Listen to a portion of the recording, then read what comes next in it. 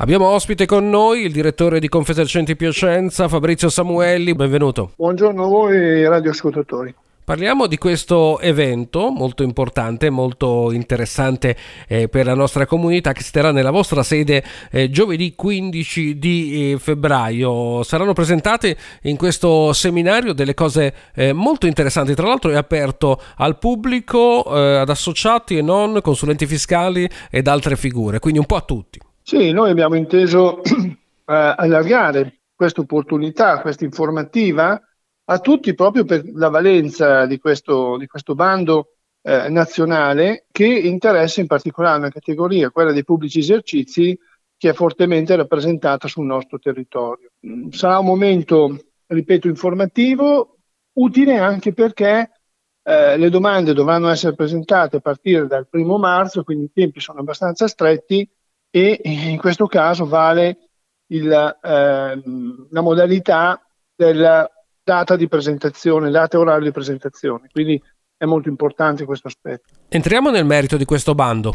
Questo bando dà contributi in conto capitale per quanto attiene attività, eh, vengono specificati anche i codici TECO, quindi ristoranti, fast food, rosticcerie, friggitorie, comunque coloro che dispongono di posti a sedere, gelaterie e pasticcerie, produzione di pasticcerie fresche.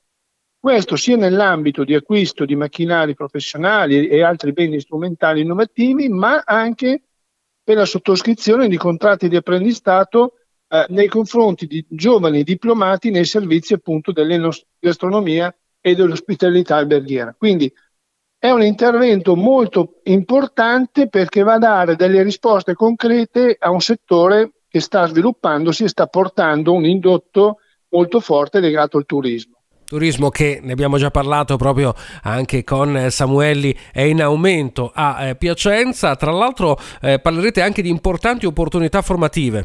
Assolutamente sì, perché questo appunto è il nostro altro ambito che vogliamo eh, portare avanti, cioè formare il personale, gli addetti in vista della stagione, due eventi molto importanti sia per quanto riguarda i pubblici esercizi, quindi legato a un corso di inglese, sia anche i negozi perché il primo luglio avremo la fortuna di ospitare la tappa, la partenza della tappa del Tour de France e vorremmo che i negozi eh, accogliessero al meglio tutta la carovana. Sul fatto della ricerca di personale sta migliorando qualcosa? Ci eravamo lasciati nell'ultima intervista su questo tema eh, dei problemi che ci sono.